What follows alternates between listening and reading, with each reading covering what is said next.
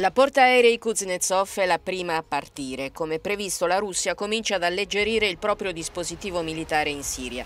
Impegnata direttamente nel conflitto dal 2015, Mosca ha modificato un copione forse già scritto che prevedeva il crollo del regime di Assad. Il portavoce dell'esercito russo, Valery Gerasimov. Concordemente con la decisione del comandante in capo supremo Vladimir Putin, il Ministero della Difesa russo ha cominciato a ridurre il dispositivo militare in Siria.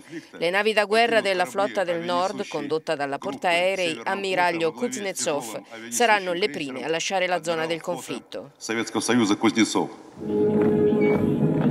Dopo la totale riconquista di Aleppo, annunciando il 29 dicembre un accordo appoggiato anche dalla Turchia su un cessate il fuoco e prossimi colloqui di pace ad Astana in Kazakhstan, Putin aveva detto anche che la presenza militare russa si sarebbe ridotta.